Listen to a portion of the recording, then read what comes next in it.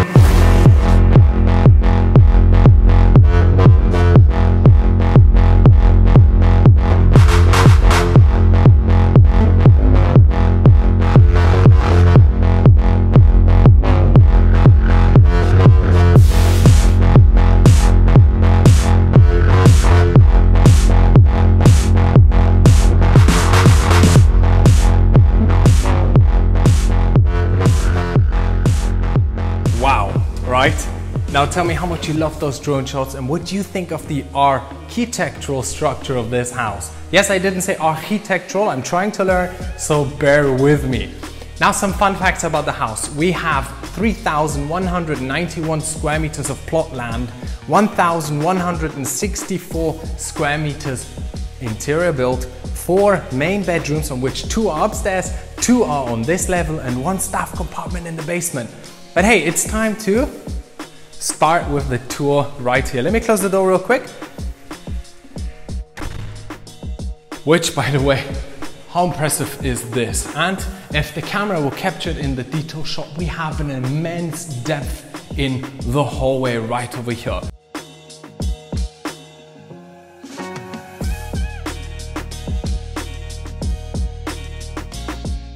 Now let's start off with our property tour right here. Let's go. What we have right over here is the main living area of the house in all its beauty, depth and mesmerizing size. To be quite frank, if you look at the detail shots right now, you will see that we have a triple height ceiling that is mind blowing with panels in a pyramid shape. Beautiful. Now, moving on from the roof at the ceiling, we also have a fireplace. Yes, it's not a chimney. I'm sorry, I keep saying chimney. I know it's a fireplace. We have a natural fireplace right over here. And of course, access points outside to the big ample garden as well as a lot of light coming from the transit windows in which the water feature that I'll explain later outside is starting to make really cool images reflecting on the panels. Let's move on from here.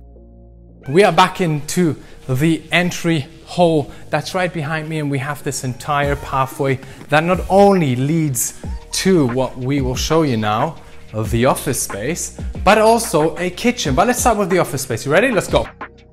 We are in the office space, conveniently located next to the kitchen, next to the living room, in the center of the house so that when you're here, you can have an overview of what's happening and you're not far away from everyone. Great location, transit window, natural light coming in. Beautiful if you want peace and quiet. You can also just close it with a pocket door in black. Great. Patrick, let's move on to the kitchen. This is a fully designed SieMatic kitchen. What I like about it, it is in a big room. You have this dominant kitchen aisle in Silestone. The countertops are nice and smooth to the touch.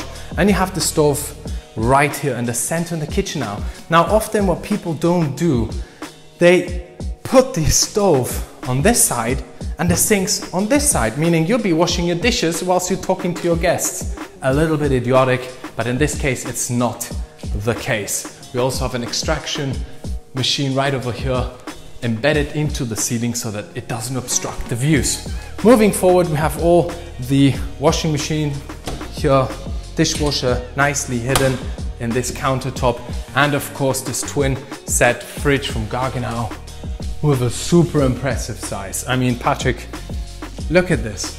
It is massive. It really is. You've got the freezer, you've got the fridge, and it's very elegant design from Gaggenau. And all the appliances in this house are from Neff. Cool, moving forward, this staircase, we'll come to that at a later point, but you also have a space here where you could put a breakfast, snug bench area. I would have done the same.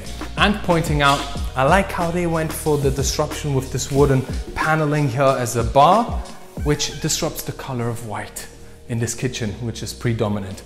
Moving forward, once again, a division of space with this convenient pocket door, which opens up to the dining area. Dining area, once again, elegant, light lit, transit window, floor to ceiling, windows that open up, which also give access to the outside terrace. We'll come to that. Stay put. Nice big round table for 10 people, just enough. And of course, if you want to have some privacy, you simply close this one down. I'm also a big fan of separating the rooms, which you can do here. You've got the living room, and if you want, you can separate the dining area with that. All right, let's go outside, let's go.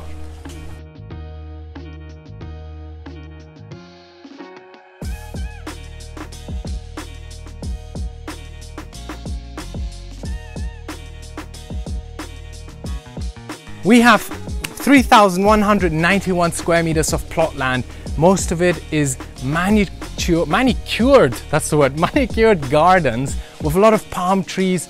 I look at nature and nature is all around the premises of this plot, as you can see, making it embedded within nature, private and exquisite. And right over here, the no edge swimming pool, which is salted. And from this perspective, ladies and gentlemen, have a good look at the architecture, yes, architecture of the house, which is minimalistic, but has features which disrupt its clean lines like the squares that just pop up and the black tiling of the pyramided roof. And right over here we have the gazebo with a dinner table. It's partially covered, toilet underneath, and a perfect setting for a late afternoon dinner. Now, ladies and gentlemen, follow me. As I was saying in the living room before, we have this water feature here. Not only is it elegant and looks very nice to look at, looks very nice to look at. Let me rephrase it. It's a very funky feature and the reflection goes all the way into the living room where you see the water play. Furthermore, on my right, on your left, we have the two ensuite bedrooms that I'm going to be showing you right now. So let's go. All right, moving inside once again. This is the heart of the house and it really feels like it. And a lot of my clients, they always say, Dom, the living room is too small or I don't feel like there's enough light. Well, trust me, when you come to this house and you see this ample, captivating living room, you're gonna be just as much in love as me. And before you move out, look at this elongated, synced in niche with a couch area and transit windows. Very cool. And you also have, Patrick, have a look at this, an elevator that connects all three floors. I'm a bit scared to use elevators in houses, but I'm gonna try this one for you guys. Moving forward, if you zoom in, you have bedroom one and bedroom two that we're gonna be showing you right now. So get prepared. Ready, set, go.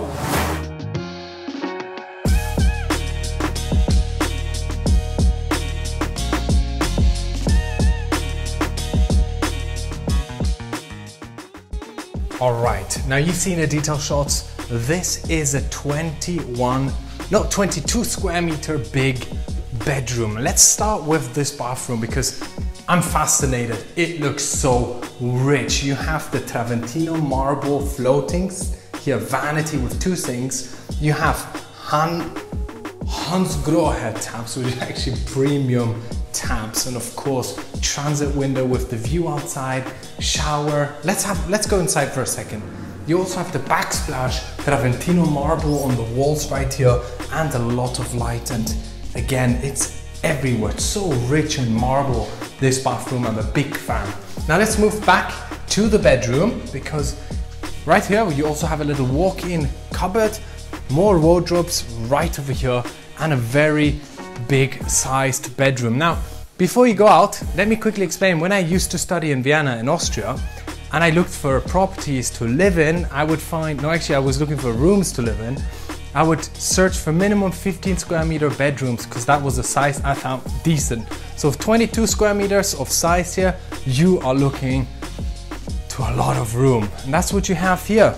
You have even a little seating area, nice decor, everything's perfect. And of course, floor to ceiling, windows, and electric shutters that come down. You can control them here with this little device. You can actually control the air conditioning, the lighting, the blinds, the underfloor heating, which you have on the ground floor and first floor.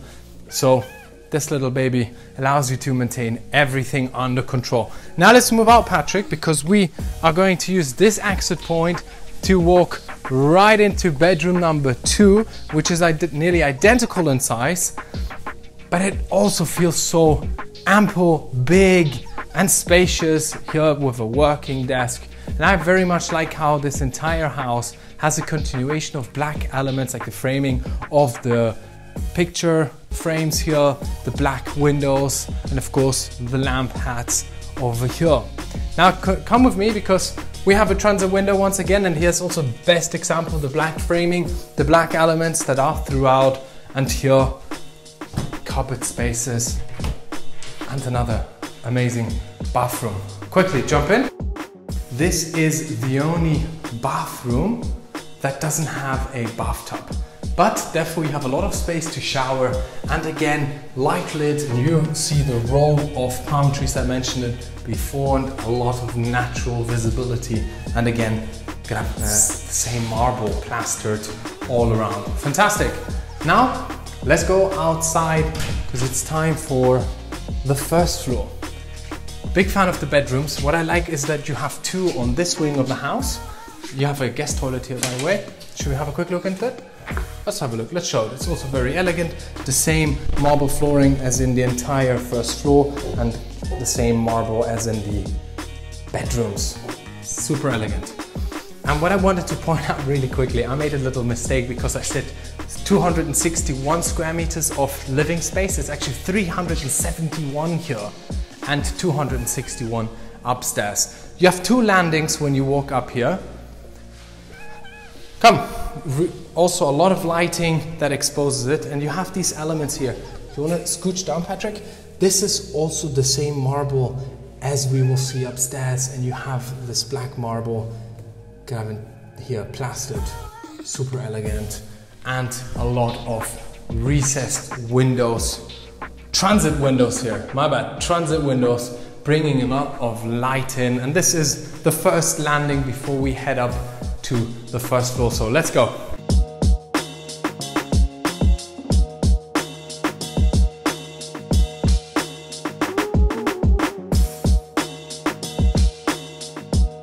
All right, as I was saying, the granite now will be more exposed on this level. We have two bedrooms on this floor, one bedroom here, one bedroom over there. So two bedrooms have a total of 261 square meters that they're sharing. Let's have a look at this one first. Let's go.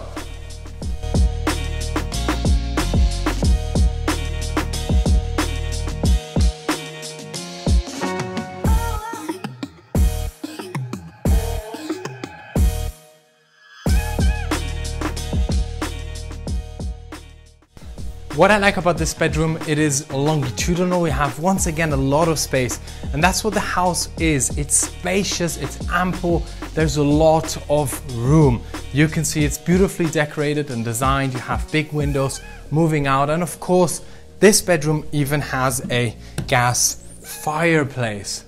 So elegant. But not to forget also the outside private terrace to be only used by this bedroom with sea views. And of course, your pool view, garden view, and a lot of nature that surrounds this plot. The sea view is right over there. I don't know if the camera will catch it. It's between the two palm trees. So, you want to tell me that this there is the sea view? Yes, I do. Let me quickly explain because we are in Guadalmina Baja. Guadalmina Baja, because it's Baja, which means low, you don't get sea views here unless you are front line, like directly on the beach. And the only the reason why people buy Guadalmina Baja is because it's safe, it's very green, it has a super lot of trees, and it's safe and it's consolidated. Very important. Now let's check out this bathroom. You have Toso marble in the bathrooms once again, also here on the vanity with these really cool Hansgrohe taps and Villeroy Boch sink. And of course, granite this time, right over here with a bathtub. Granite, granite, granite. Backsplashed on the walls as well, a nice big shower. And look at this window. It's huge, brings so much light into the entire bathroom. And here, let's not forget you have the toilet area as well. Right over here, bidet, toilet, and once again, a lot of windows. This one that you can open up in case you stink up the place. Let's go. We also have, Patrick, I am sure you've seen it, right here to my left. We have in a walk-in closet entirely for this bedroom, big in size, and all it needs is you to come and put your own clothes in. And now let's go. Because we also have stairs leading up, I'll explain that later. We have this bridge that connects the two halves of the house. I don't know if you realized when we were filming by the pool, you could see one area looked very much like a bungalow and the other like an additional house that was attached. And that's how it kind of feels when you have this passageway here. That's the bridge with a see-through glass covering the area. And I'm not going to show it too quick. When we entered the house, I said the ceiling height was insane. So Patrick, come a bit closer and maybe pop up the camera so that we can get a good idea of this ceiling height and, and design that we have here featured in the house.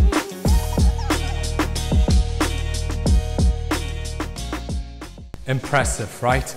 Now, as I was saying, the two halves this bridge is dividing it and starting from here, this is the entire section of the master suite with a gallery wall right over here, massive transit windows, once that even open up in case you want to take a different route from time to time just to mash up some things. We enter the master bedroom. The master bedroom, once again, is humongous in size. And it has the same shaped ceiling as the entry hall that we have seen. And you have a lot of space. The bed that's facing south, transit windows that offer that sea view that Patrick couldn't see. Right over there, as I was saying, the transit windows for the sea view. A nice little niche over here. It is big, but still very cozy. And last but not least, once again, we have pocket doors that lead way to this enormous bathroom. Here we have a Victoria and Albert bathtub. I already said it once. They're such good bathtubs that they get 30 years of guarantee. Mind blowing. Same granite, backsplashed walls granite. on granite, granite. Arch architect, granite, granite, backsplashed walling on the floor as well and a little rainbow shower. And moving on we have the same Tosso marble splashed on the vanity and the same Hansgrohe tabs that are really funky, elegant and top of the notch. There is a bathroom, toilet I mean, it's the same as the one we saw before. And from here we also walk into the walk-in closet, which is for the master bedroom. Relatively good in size, I would even say that the other one's slightly bigger. This being the master, it should have maybe a bigger walk-in closet, shouldn't it? Yes, it should. maybe just looks a bit smaller because there's nothing inside. Again, pocket doors, creating a good subdivision. And that is it for this level.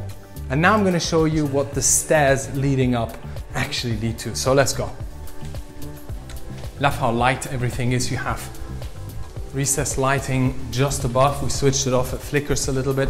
And here we have the staircase leading up to an additional humongous space. All the details and the square meters are in the description, so feel free to double check what I'm saying and to get the measurements right. Now let's have a look at this solarium here. Okay, humongous solarium. Let's start off with your own private pool on the upper level deck right over here. It's actually a jacuzzi pool. So imagine you come here, from here you see the entire mountain range up to La Concha even, and you do see through the bushes and the trees the ocean view. Fantastic, Patrick. Let's continue. There's more. Did you know? Of course you did. All right. So, this actually wraps around the entire house. So you have these little niches all over the roof terrace where you can even sunbathe naked because that is what I wanted to point out in this house. It feels so private because you have all the greenery that protects you from anyone spying on you. You have great visibility from here, but also the privacy that you're looking for when you live in Marbella. And that is basically it. We're just going to walk around a little bit further, show you all this space that could be used for anything that you desire. And from here, we might even catch the sea view Patrick didn't see before. So flip the camera. You see that?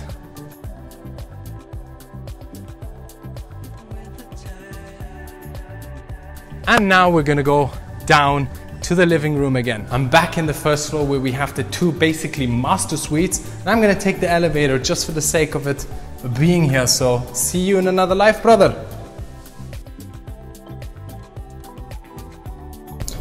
Of course you can make an offer. Anything below 6.850 is not gonna go, so you better raise your raise your offer. Alright, I need to go. Alright, bye bye. Alright, ladies and gentlemen. Just to point out, the same marble flooring that is on the first floor and the second floor is also inside. Really elegant. Now we're back in the hallway and I would like to say thank you to everyone who watched it until now because we still have the basement to go. So let's do it. Stairs and down we go. All right, basement time. 434 square meters of area usable. Let's check it out. Come on, let's go. Now this entire space here could be used for whatever you want. Gym, television room, television room, gym, cinema room, billiard, whatever you desire. This is humongous, light lit because of the loopholes that we have here. A lot of space that could be yours to design. But I think we said enough. Let's continue. Right over here we have a guest toilet. Come on. The garage. Now this is a garage for at least five cars.